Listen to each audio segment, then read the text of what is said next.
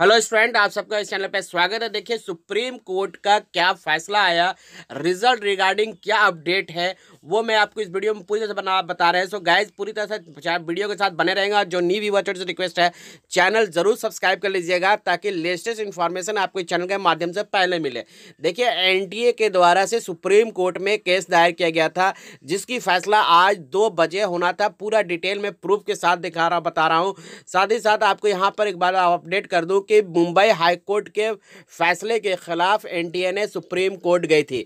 So guys अब हम पूरी डिटेल आप देखिए क्या सुप्रीम कोर्ट ने फैसला लिया है। ये वीडियो में आपको पूरी तरह से बताया जा रहा है।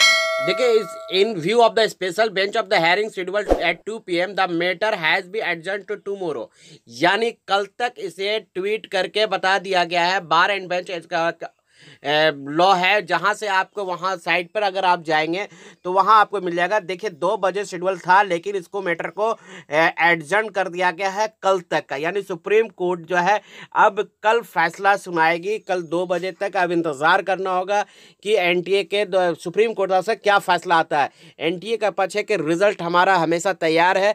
अब रिज़ल्ट का आप डिक्लेयर करने का ऑर्डर दे। सुप्रीम कोर्ट में उन्होंने ये भी कहा। सो गाइज़, अब देखते हैं लेटेस्ट इन्फॉर्मेशन आपको क्या मिलता है। सो चैनल सब्सक्राइब कर रखिएगा बेल नोटिफिकेशन ऑन कर लीजिए। जय हिंद जय भारत।